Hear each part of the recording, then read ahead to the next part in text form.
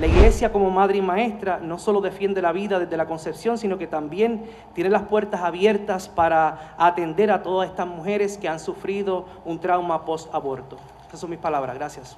Muchas gracias. Senadora González. Buenas tardes a todos. Muchas gracias por haber comparecido en la tarde de hoy a estas vistas públicas en torno al proyecto del Senado 693, reconociendo ¿verdad? que cada cual tiene una congregación y unos hermanos y hermanas que atender, particularmente en aquellos momentos en que necesitan apoyo espiritual. A veces yo lo necesito también, pero reconociendo que hay separación de iglesia y Estado y que ya he tenido la oportunidad de escuchar los testimonios de médicos, científicos, legales y jurídicos pertinentes en torno a este proyecto, no tengo ninguna pregunta que hacerle.